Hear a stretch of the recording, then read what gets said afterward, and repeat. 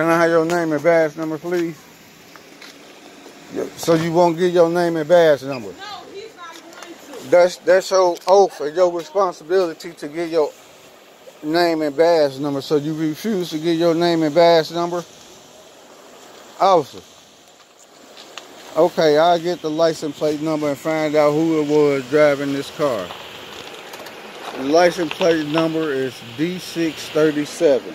He refused to give his name and badge number, which he's supposed to, upon request. So you still won't give your name and badge number. What did you want? So he, he still won't get his name and badge number. Why would he give it to you? I mean, why not? He that's y'all that's y'all policy. That's I'm.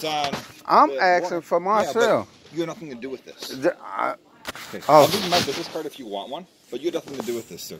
That's your Oh, neighbor so that was dealing with the it- it- it's, it's It's his own big regardless of whether I had something to do with it or not. Yeah, y'all supposed to give us y'all a name and badge number If you're upon involved, we, request. we, we can, sure. And Yeah. he's got it. Here's my Look. card. If you got any questions for Okay, me. I w- thank right. you. We got the other car in there. All right, you too.